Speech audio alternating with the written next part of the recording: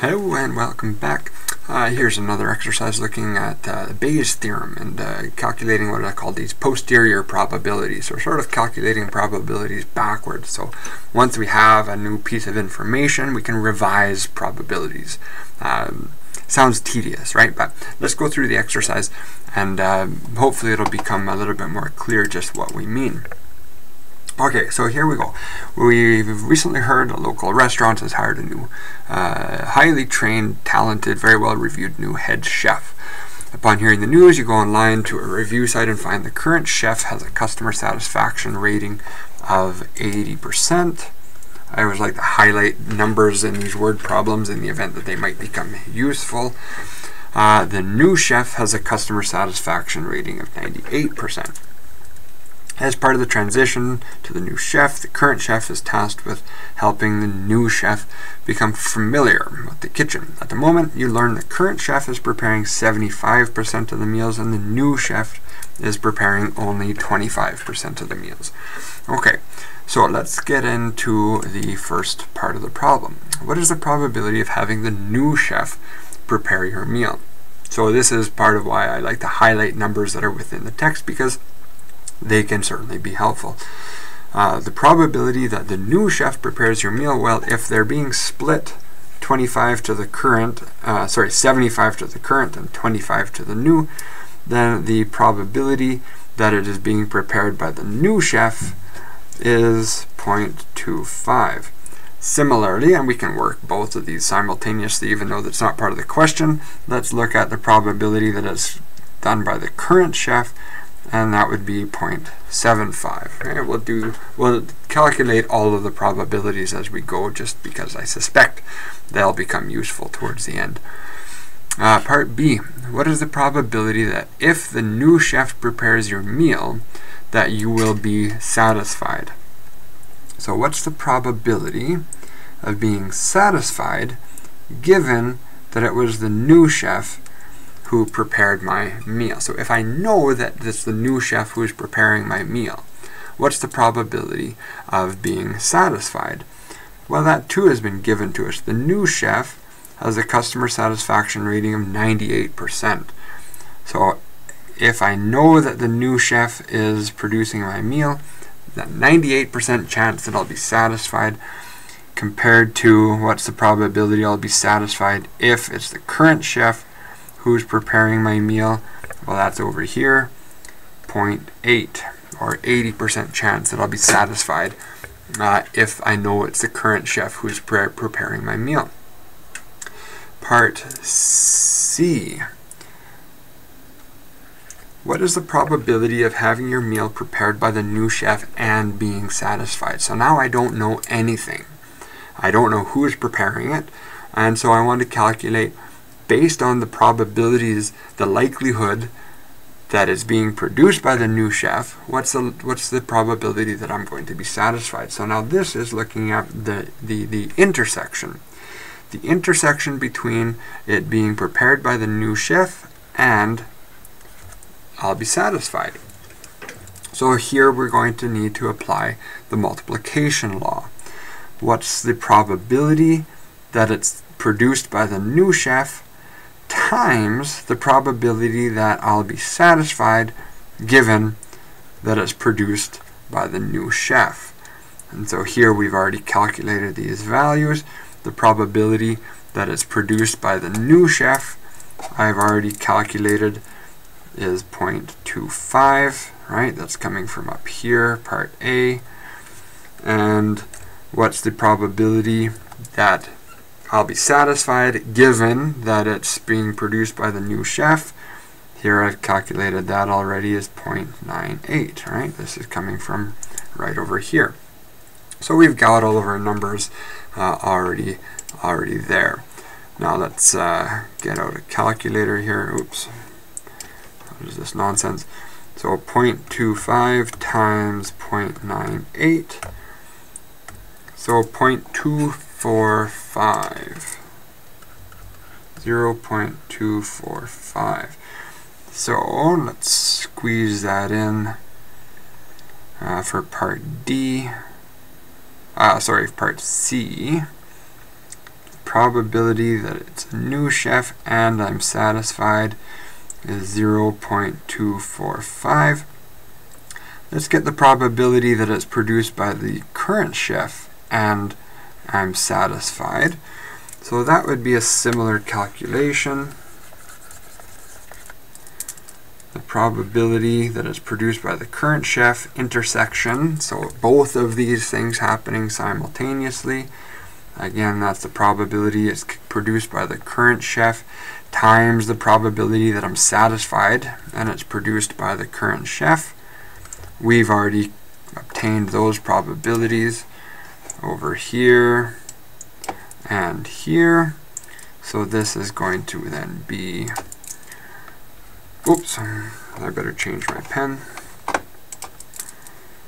Probability that is produced by the current chef times probability that I'll be satisfied if it's produced by the current chef. And here we have 0.75 times 0.8, so 0.6. 0.6. So a 60% chance that it's produced by the current chef and I'm satisfied. So these two events happening simultaneously. Okay without knowing who prepares my meal. What's the probability of being satisfied? Let's call this the probability S, probability that I'm satisfied. So here we need to use our addition law. And we've already calculated all of the probabilities. This is going to be the summation of the probability that it's prepared by the new chef and I'm satisfied, plus the probability that it's prepared by the current chef, and I'm satisfied. Now, normally, uh, the addition law would include an inter uh, in, uh, intersection, right? At that point where where both events occur uh, simultaneously. But in this case, it can't be both produced by the current chef and uh, produced by by the new chef. So these two uh, events are mutually exclusive. I can't have my meal produced by both of these chefs. Uh, so there's no interact uh, intersection between these two events. So all I need to do now then is carry over these probabilities that we've already calculated right here and right here.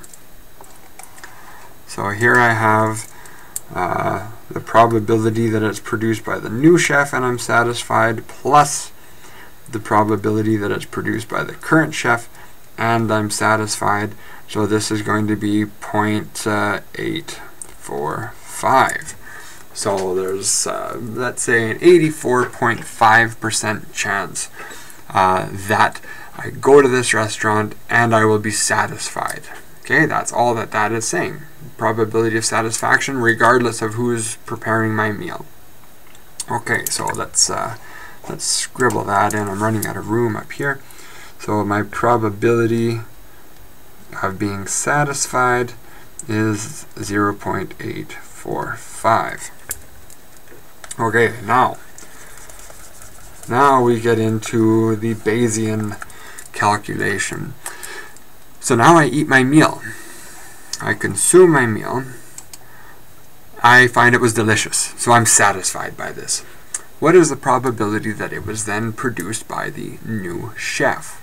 Okay, so now I want to calculate what's the probability that it was produced by the new chef given that I am satisfied. So notice this is kind of backwards from what we've already calculated here. Right? That statement was saying, what's the probability that I'm satisfied if I know that it's being produced by the new chef? Now we're saying, what is the probability that it's produced by the new chef, given that I now know I'm satisfied by this delicious meal? So what we need to calculate here, we've already actually done most of the, the intermediate calculations. What I need to do here is calculate or determine that probability uh, that it is produced by the new chef and I'm satisfied. So where both of these things happen. It's produced by the new chef and I'm satisfied divided by the probability that I'm satisfied. So here we can just keep this notation quite general for now, the probability that I'm satisfied. Now we can break this down into its different components, all of these different probabilities that we've calculated. This numerator, this intersection, well this is obtained using the multiplication law. So this is the probability that it's prepared by the new times the probability that I'm satisfied, given that it's prepared by the new. Now this probability that I'm satisfied this is the probability that it's prepared by the new chef times the probability that I'm satisfied given that it's produced by the new. So notice those two terms are absolutely the same plus the probability that is produced by the current and the probability that it's satisfying and produced by the current.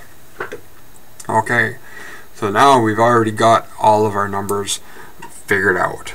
This numerator, this intersection between being produced by the new uh, chef and I'm satisfied. This is the one that we have calculated. New intersection satisfied. This is this one here. Oops, where's my color? This is this one right here.